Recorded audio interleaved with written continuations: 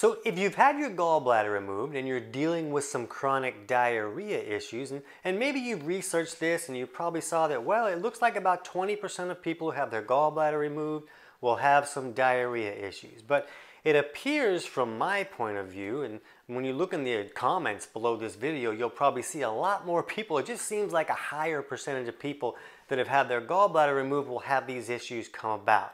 And it seems that what they're saying is that there's about 20% after surgery that will have this diarrhea issue. But I'm going to put a link to a study in the description below this video that shows that over time, up to 50% of people who have had their gallbladder removed will end up with these chronic diarrhea issues. So in this video, I'm going to help you understand what's going on and the different options that can create this diarrhea problem and steps you can take to correct it. You don't want to miss this.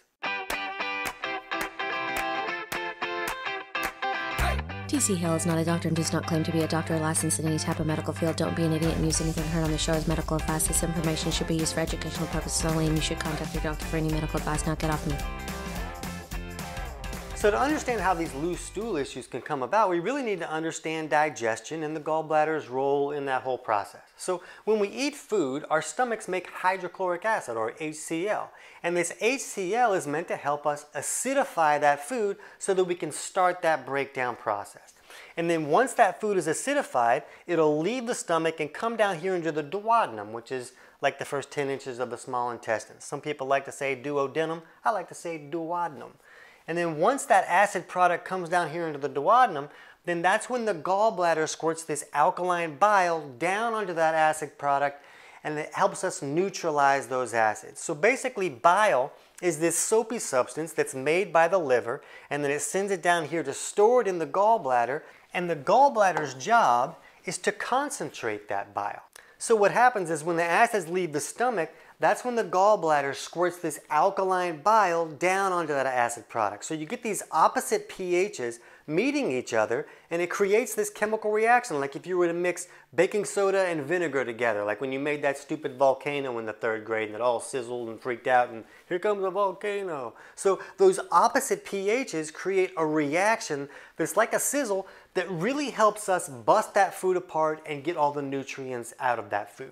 So that bile coming down is really part of our ability to get the nutrients out of the food that we're eating. The problem is, for a wide variety of reasons, someone's bile can become too thick and sticky to flow correctly. So then it won't flow out of the gallbladder like it's supposed to, and if it's staying in the gallbladder, it will continue to concentrate. It'll concentrate until it turns into sludge or even into stones. So when we have this dysfunction here, and the gallbladder is no longer functioning and hey, I'm having gallbladder attacks, that's the worst pain I've ever even heard of somebody having, let's go ahead and yank that out of there so we get the gallbladder removed. So now what we need to understand is how this digestive process is going to change. So basically, when this stomach is making the stomach acid and it leaves, then it triggers this gallbladder to drop that bile down on there. But if the gallbladder is gone, then there is no storage for that bile. So there's no bolus of bile to come down and help neutralize the bolus of acidic food product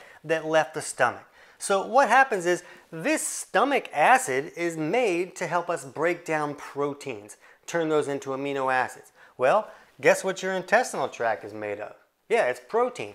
So if these acids are not getting neutralized enough, then they're still in this acidic state that kind of goes through the intestinal tract and starts to basically digest the lining of our intestinal tract. So the body doesn't want that. So it says, well, let's get this out of here. So it brings all the water it can to the intestinal tract to cool those acids off and rush it out the back door as fast as it can and become lifting off the toilet like a rocket.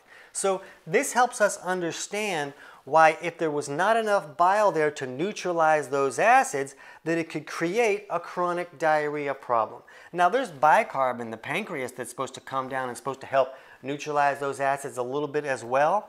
But there's a lot of people that feel that some of these functions are triggered by some of these other functions further up the line. And maybe there's not enough bicarb because that bile being alkaline is really what helps us neutralize those acids. So this is a very common reason to have some chronic diarrhea issues because there's not enough bile to neutralize the acids that are coming through. So now that uh, stool that's leaning more on the acidic side is irritating that intestinal lining. Now here's the big question. Why does this only affect some people? Why wouldn't everyone that had their gallbladder removed have chronic diarrhea? But what we need to understand is that if a person is not making enough stomach acid, then the food is not going to be really acidified when it leaves. It's not really going to need to be neutralized. So if both sides are dysfunctional, then the stool is going to be at the right type of pH to kind of move through the intestinal tract at an okay pace. And some people will even see chronic constipation issues after they've had their gallbladder removed. And that may be because this stomach acid is not being produced properly. It's very common for someone's stomach not to be producing enough stomach acid. And what we have to consider is maybe this hypochlorhydria or a lack of stomach acid may have even been happening before the gallbladder surgery. Because what we know now is that this gallbladder is triggered by the stomach acid leaving the stomach. So I'll put a link to a study below that shows us how there's a really strong link between using PPIs or antacids for an extended period of time and gallbladder sludge and gallstones. So it kind of helps us understand that the encyclopedias are right when they say that this bile is triggered by stomach acid. And if it's not being triggered by enough stomach acid here, then the bile stays in the gallbladder. The gallbladder is not triggered to squeeze it down, so it stays in there and it continues to concentrate into sludge or into stones.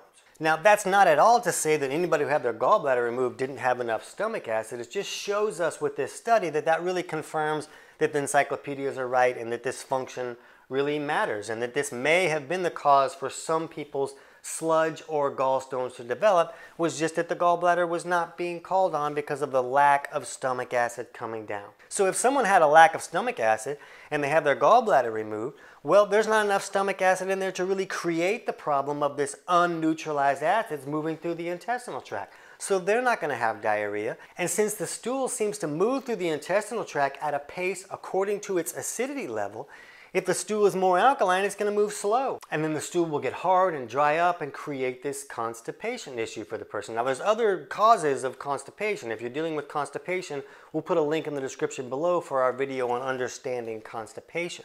But what we want to look at is how do we correct this problem if this is the cause of our chronic diarrhea issue.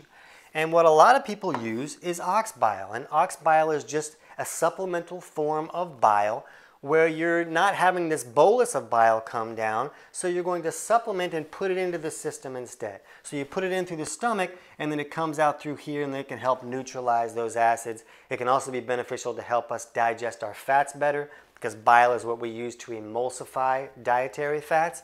The problem is that taking ox bile can really magnify some symptoms if you're doing it the wrong way. I'm not going to go into all the details here because it can be a little bit more complicated, but I'll put a link in the description below or for our video on understanding mistakes that people make with ox bile. And you'll want to go through that to see about the timing and all that kind of stuff. And I'm not going to give you a brand and I'm not going to give you a dose because I'm not allowed to do that. But beyond that, the dose should really vary from person to person depending on how much stomach acid they're making. How much help do they need neutralizing the acids that are leaving the stomach? So that's going to vary greatly from person to person.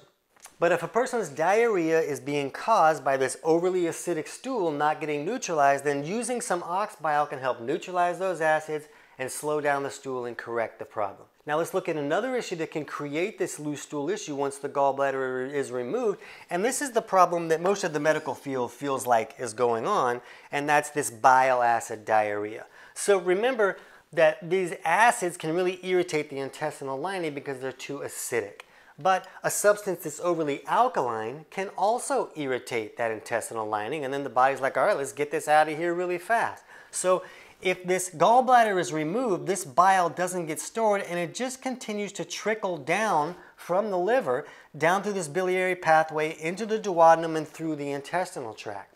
So if a person really doesn't have enough stomach acid and there's just bile kind of going through the system all the time, that overly alkaline bile, since it didn't mix with the stomach acid, is really going to irritate this lining and can create a diarrhea response. So an overly alkaline stool can be just as irritating as an overly acidic stool. So in that case, if a person helps to acidify their stomach a little bit more and their diarrhea slows down, then that can be a good indication that, oh, that was probably caused by bile irritating the intestinal lining because everything was a little bit too far on the alkaline side.